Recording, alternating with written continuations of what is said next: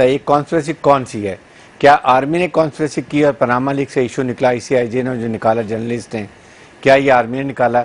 बल्कि एक बहुत बड़े नैरेटिव को डिफीट किया आज जुडिशरी ने। और जो स्टेट के दो इंस्टीट्यूशन बच गए थे, एक जुडिशरी और एक आर्मी उनको बचा लिया Indian narrative Afghan narrative Mossad और दूसरी कुतों का जो नैरेटिव है, वो ये था कि अदारों में तसादम करा दिया जाए। और साथ इसके कि फ़ौज और अदलिया का और आवाम का जो आपस में एतबाद उसको ख़त्म कर दिया जाए।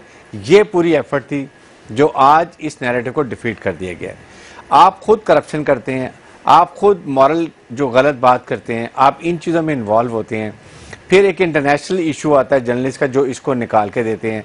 फिर टर्म्स ऑफ़ रेफरेंस के लिए पार्लियामेंट में फैसला करने की साहब इनका नैरेटिव ये है कि हम पे किसी किस्म की कोई करप्शन साबित, साबित नहीं वो कहते हैं कि जी सरकारी खजाने में हमने क्या करप्शन की है हमने क्या खुदबुद की है वो हमें बताई जाए। देखें नादिया बात ये सिंपल सी बात है ना मैं नया में डायरेक्टर फाइनेंशियल क्राइम आपको कहा जा रहा है कि आप सिर्फ़ ये बताएँ यहाँ से पैसा दुबई कैसे गया?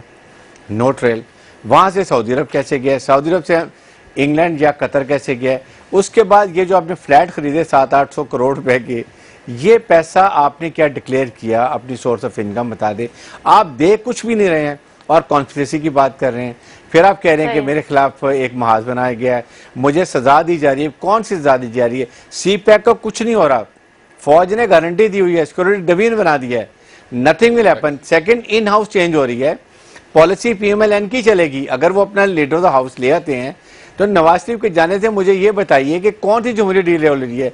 ये जमहूरियत मज़बूत अच्छा। हुई है। It is a start it's a beginning for the रोशन पाकिस्तान ये हाँ एहतसाब सबको होना चाहिए। अभी इसके बाद आई एम श्योर कि वही आई वुड से अभी तो पार्टी शुरू हुई है तो thing will go keep moving but ये इल्ज़ाम इस वक्त नहीं कहना हाँ, चाहूँगा।